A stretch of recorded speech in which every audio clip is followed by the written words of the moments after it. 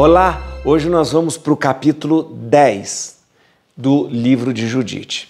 Hoje esse capítulo vai tratar do momento em que Judite sai de Betúlia.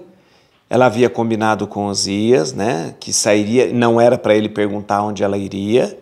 Ela sai de Betúlia junto com a sua criada e vão até o acampamento dos assírios.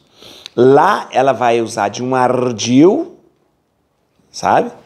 Para entrar no acampamento e ter contato com Holofernes. Então ela vai se passar de coitadinha, vai dizer: Ah, eu sei que vocês vão é, é, arrasar os judeus, então eu quero preservar a minha vida, então estou mudando de lado. Eu vim aqui para preservar a minha vida. Eles vão acreditar, deixa ela entrar no acampamento e ela fala: eu tenho informações preciosas para é, oferecer ao general Holofernes. Eles pegam a Judite, ela é muito bonita, leva a Judite até Holofernes. Então, olha aí, tão esperta, astuta, essa mulher. Agora, o, o capítulo de hoje mostra ela se preparando, passando óleo, tirando as roupas de viúva, colocando. E, e, ela ficou tão bonita, tão bonita, tão bonita, que deixou até o pessoal da cidade assim, é, encantado com a beleza dela. Tá bom? Vamos ler então? Peço a você que convide mais e mais pessoas para com a gente fazer essa caminhada de leitura da palavra de Deus convida as pessoas, compartilha esse vídeo, dê um like nesse vídeo, sabe aquele joinha assim? Dá um like, porque assim você me ajuda a divulgar o vídeo e também marca para você aí o vídeo que você já assistiu, tá bom? Vamos lá? Bíblia na mão, Espírito Santo no coração. Vamos ler então nesse momento aqui. Vamos lá. Quando acabou de orar ao Senhor, levantou-se do lugar onde estava, prostrada diante do Senhor. Chamou a sua criada, desceu à sua casa, tirou o cilício e despiu suas vestes de viúva. Lavou-se, ungiu-se de mirra preciosa, arranjou o cabelo e pôs um diadema. Vestiu-se como para uma festa, calçou as sandálias, pôs os braceletes, o colar, os, os brincos, os anéis todos os seus enfeites. O Senhor aumentou-lhe a beleza, porque tudo aquilo procedia não de uma paixão má, mas de sua virtude. Por isso o Senhor deu-lhe uma tal formosura que apareceu aos olhos de todos com um encanto incomparável. Fez que sua criada levasse num odre de vinho uma garrafa de óleo, grãos torrados, figos secos, pão e queijo, e partiu. Chegando à porta de Betúlia, encontrar Osias e os anciãos da cidade, Cabris e Carmis. Vendo-a, ficaram cheios de admiração diante de sua beleza. Sem lhe perguntar coisa alguma, deixaram-no passar e disseram-lhe: Que o Deus de nossos pais te dê a sua graça e fortifique a resolução de teu coração, para que sejas a glória de Jerusalém e o teu nome figure no número dos santos e dos justos. Todos que ali estavam disseram uma só voz: Assim seja, assim seja. E Judite passou à porta com a sua criada, orando ao Senhor. Ao raiar do dia, quando ela descia pela montanha, eis que veio ao seu encontro uma patrulha dos assírios e a deteve. De onde vens? Perguntaram-lhe. E para onde vais? Ela respondeu: Sou uma israelita. Fugi do meio deles porque estão para ser entregues a vós como presa. Por isso pensei comigo mesmo: irei apresentar-me ao príncipe Holofernes para revelar-lhes seus segredos, indicar-lhe um caminho por onde poderá tomar, sem perder um homem sequer do seu exército. Ouvindo essas palavras, os homens olhavam de frente com os olhos deslumbrados de admiração pela sua grande beleza e disseram-lhe: Salvaste a tua vida porque resolveste descer para o nosso Senhor. Podes estar certa de seres bem tratada quando lhe fores apresentada, e tu lhe has de ganhar o coração. Levaram na tenda de Holofernes, declarando quem era. Mal havia ela entrado, Holofernes ficou cativo de seus olhos. Seus oficiais disseram-lhe: Quem poderia desprezar os hebreus que têm tão belas mulheres? Não são elas uma razão suficiente de lhes fazermos guerra?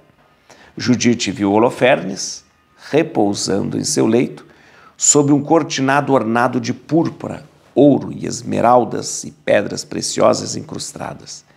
Ela levantou os olhos para o seu rosto e inclinou-se profundamente diante dele até o solo. Os servos de Holoferne levaram-na por ordem do seu senhor. Muito bem, tudo está tudo sendo preparado para esse momento e Judite se preparou de uma forma muito bonita. Judite é uma mulher muito bonita, mas uma mulher é viúva.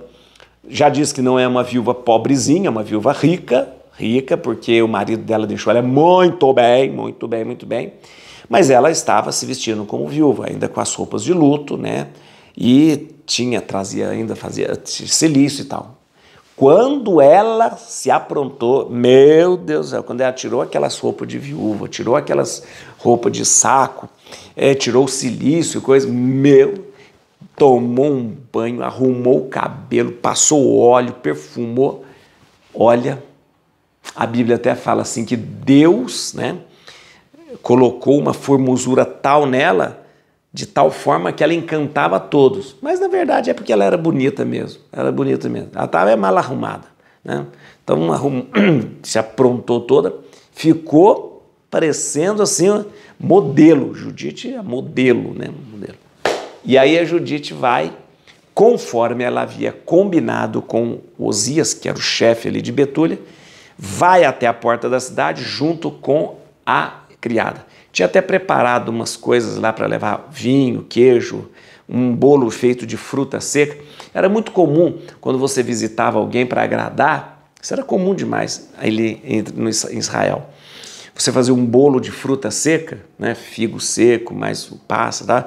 um bolo, vinho e tal, era uma oferta que você fazia. Quando você vai na casa dos outros também, você tem que fazer isso também, né? Leva uma, uma, uma coisinha. Não chega na casa dos outros com a mão abanando, não, que é falta de educação, tá bom?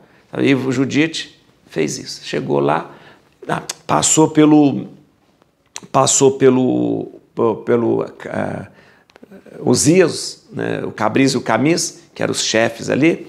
Eles fizeram como havia combinado, não perguntaram nada. Só que eles ficaram assim, estupefatos de ver a beleza. Eles nem, conhe nem conheceram a Judite. Falaram, opa, essa aí que é a Judite. E a gente. E ela foi. Foi rezando quando ela estava mais ou menos aproximando perto do, do acampamento, porque eles estavam acampados, sitiando a cidade, né? Estavam sitiando a cidade, tinha cortado água, tinha cortado alimentação. Veio, claro, a patrulha dos, do, dos assírios, falou, onde você está vindo? Quem é você? Bah, bah, bah, ela falou assim, eu sou... Aí ela usa aquilo que eu te falei, ela usou da astúcia, né? Falou, eu sou uma israelita, eu estou fugindo de lá, por quê? Porque todos nós sabemos que vocês vão invadir e nós seremos suas presas. Então, eu estou querendo salvar a minha vida. E eu vim aqui e ainda trago informações preciosas sobre como vocês podem entrar, que lado vocês podem entrar, para vocês não perderem um homem de vocês. Eles falaram, opa, temos aí ó, uma mulher frágilzinha, bonitinha e tal, né? Bonitona, né? Pessoa que essa, essa mulher, coitada, só tem beleza, não tá, não. Né? E ela está querendo salvar a pele dela e ela deve ter muita informação boa. Vamos levar para o Holofernes. Leva para o Holofernes. Quando chega perto do Holofernes, ele fica também louco por ela, tá? louco, né? Não vê mais nada. E ela toda educada, se curva na frente dele, ela, ele sente o perfume, né? Que ela havia se ungido e pronto, foi o bastante para ele se encantar com ela. Judite, por causa do seu povo, por causa do seu Deus, se arrisca e vai trazer a vitória para os judeus. Você vai ver daqui a pouco. Você vai ver daqui a pouco o que essa mulher vai fazer. Colocando a sua vida em risco, se ela fosse descoberta, ela ia ser morta na mesma hora. Né? E usando aquilo que Deus lhe havia dado, a beleza, né? até as suas posses, para salvar o seu povo. Fica comigo aí que o negócio vai ficar cada vez mais interessante, tá bom? Et crucem domini, fugit partes adversa. Vite teleo de tribuda Radix David. Aleluia.